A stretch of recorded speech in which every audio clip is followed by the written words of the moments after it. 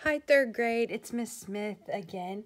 Um, I know if you watched the last video, I talked a little bit about perimeter. So we're going to review what is perimeter. Perimeter is the distance all the way around the whole object.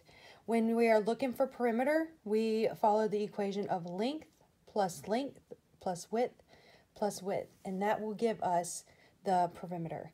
But today we're going to look at how can I find the perimeter of a rectangle or a square when there are missing side lengths? So if you'll look right here, we have a rectangle.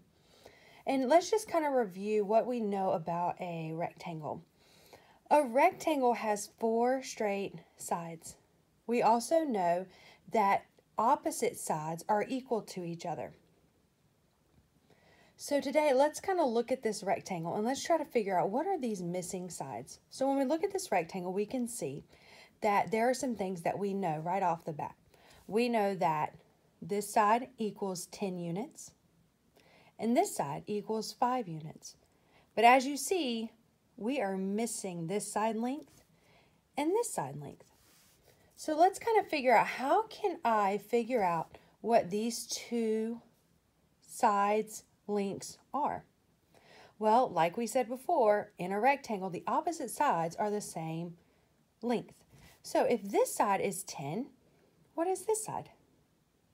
This side would be 10 units because opposite sides on a rectangle are equal.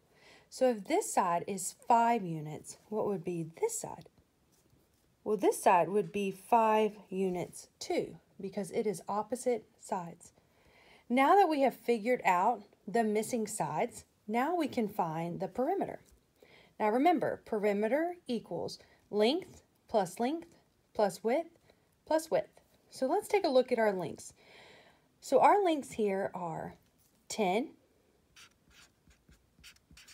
plus 10,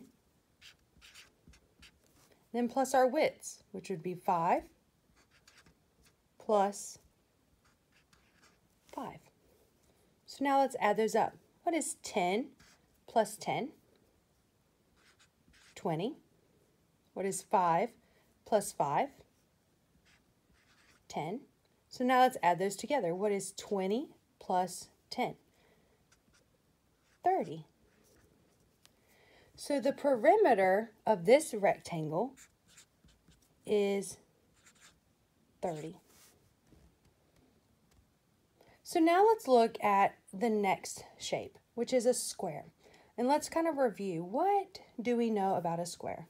Well, we know that a square has four straight sides. But what we also know about those four straight sides is that they are equal in length. So let's take a look. What do we know about this square? Well, we know that this side equals 8 and this side equals 8. But we notice that we don't have all of the sides lengths. So let's think about a square. We said all of the sides have to equal the same length in order for it to be a square.